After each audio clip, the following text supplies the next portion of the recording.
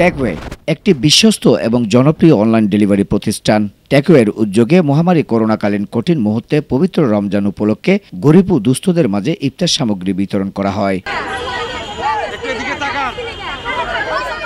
রবিবার দুই মে বিকাল পাঁচটায় চট্টগ্রাম নগরের জিসি মোড়, ওয়াসার মোড় সহ বিভিন্ন গুরুত্বপূর্ণ মোড়ে ট্যাকওয়ের উদ্যোগে পাঁচশত পরিবারের মাঝে ইফতার বিতরণ করা হয়। সংকটময় মুহূর্তে কেন সাধারণ মানুষের পাশে এসে দাঁড়ালেন এবং এই মানবিক সেবায় নিয়োজিত হলেন এ বিষয়ে জানতে চাইলে অনলাইন ডেলিভারি প্রতিষ্ঠান ট্যাকওয়ের সিইও দিদারুল ইসলাম বলেন করোনা ভাইরাসের কারণে কর্মহীন হয়ে পড়া লোকজন যাতে খাদ্য সংকটে না পড়ে, সেই জন্য সমস্যায় থাকা মানুষকে সামান্যতম সেবা করার চেষ্টা করেছি মাত্র।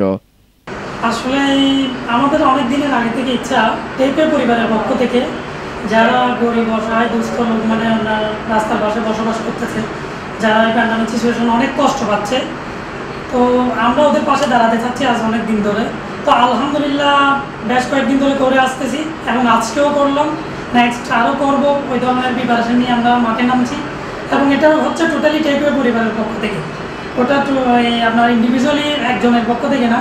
আর আমাদেরকে যারা সাপোর্ট দিচ্ছেন, বিশিষ্ট ব্যবসায়ী আপনার আশরাফুল হোসেন রাকিব ভাই, আপনার এই রসুন জামান সিদ্দিকী মাই ভাই, আমার ভাই এবং টেপে পরিবারের ওনারাই হচ্ছে ডিরেক্টর এবং আমি ওনাদের কাছে সাপোর্ট হিসেবে সময় দিচ্ছি পাশে আছি। এবং ওনাদেরকে সহযোগিতা করে উনি আমাদেরকে যে সাপোর্টগুলো দিয়ে যাচ্ছে টেকওয়ের পক্ষ থেকেই ওনাদেরকে আমরা অনেক বেশি আশাবাদী মানে আমরা এই গরিব দুস্থ মাঝে থাকব।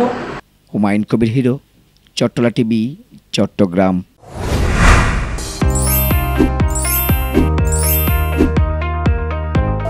Chattala TV.